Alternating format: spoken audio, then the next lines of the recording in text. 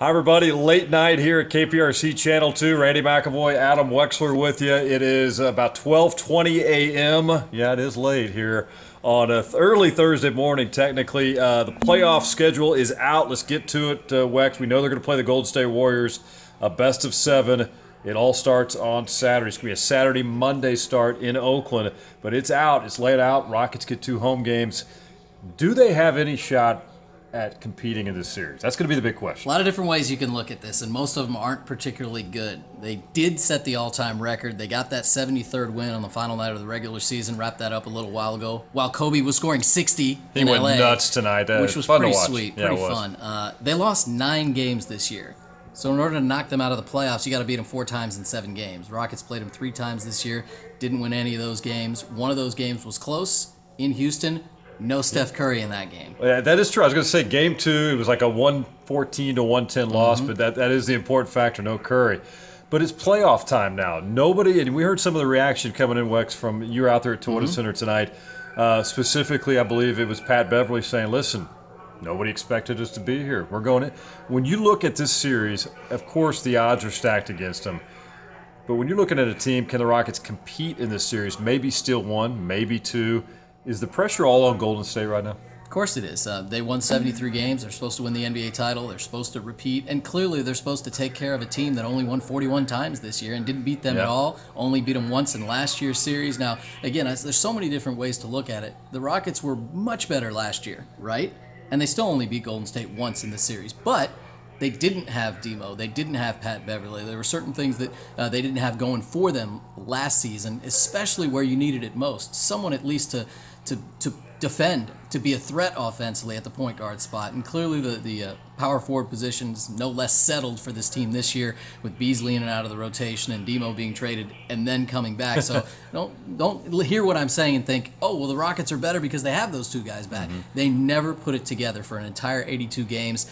These last three games, understandably so, their offense clicked. They won their way into the playoffs after they got the help they needed. But look at who they played. Look at what they were up against. Minnesota was the only team playing even kind of okay, and they annihilated them. But those Yep. were three non-playoff teams. And the game before that, they lost to a non-playoff team in Phoenix. If everything goes spectacularly well for the Rockets, it would still be a battle to beat the Warriors once or twice. We did a tell the tape uh, at 10 o'clock before, of course, the schedule came out. Just comparisons you mentioned 0 and 3 on the season. Uh, points per game, uh, the Warriors outscored the Rockets 116 to 104 on average. And JB Bickerstaff talked about it tonight. This is going to be, this is not a slow pace kind of style. It's going to be an up and down. You know, you, you're going to get the ball. They're going to shoot shoot the ball quickly like they always do. That's the Golden State Warriors. Uh, way to do business on the basketball floor. Rockets are going to have to find a way to kick it out. They're going to play some defense. At least try to contain these guys. You're not going to be able to slow them down. Yeah, that would be nice. I mean, Just a little bit. That's all we're like asking for. Phoenix and, and other teams all throughout the year, bad offensive teams, Yeah. were getting season highs against the Rockets. And what I asked JB about after the game was, Mm-hmm. you know, this is a team that goes on runs. The Rockets have played them well at times, just not well for the full 48. And as he said, you make one mistake and it turns into a three. Then when you make another one, it's another three, and you've gone from a four-point deficit to a 10-point deficit. Right. That's what the Warriors do. They did it to the Rockets last year. You look at those first two games in the final Western Conference Finals last year. The Rockets were right there to take either or both. They got neither. Came home, got run out of the building, then came back and blew out the Warriors, and then the series ended. I think there's one of those games in there where the Rockets play their best. They really have a chance to win. But in these series, any game the Rockets have a chance to win, they have to win. The Warriors are going to have a chance to win all seven games, however many there Right. are. The Rockets might not have a chance to win each game. They're going to get blown out potentially, but the games that are it's close late, if they don't win those, that's what's going to be disheartening. Yeah, they, they need Curry to be just a little bit off if that's possible in this series. It's happened. And, and Klay Thompson, some of these other guys as well, to, to have a break. They've got to play defense. Be awfully nice to steal one there in Oakland. So, again, we're going to wrap it up. More coverage coming up. Uh, the Rockets are going to watch film on Thursday.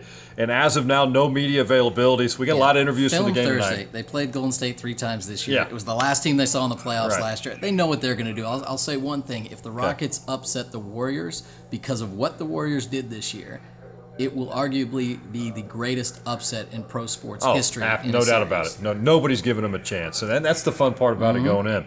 Uh, Rockets film session Thursday. and they might be flying out. Uh, likely now they are. They're Playing playing Saturday. Saturday They're going to fly out at some point on Friday. We don't know if there's going to be availability yet. We'll know more from the team, but we'll have it covered for you here and in Oakland. We'll have all the workouts covered as well, and of course the games, and uh, get all the interviews and coverage for you right here on KPRC Channel Two. So Rockets playoff bound, first round, eighth seed against the number one seed Golden State Warriors. Wex is smiling. I don't know It's if the that means. greatest team in regular season history. There you that's go. All. That's, that's who they're going. I don't know to if you're about to predict an upset or not. So anyway, we'll find out. Keep it right here for all the coverage for the Rockets playoff run against the Golden State Warriors. For Wex, I'm Randy.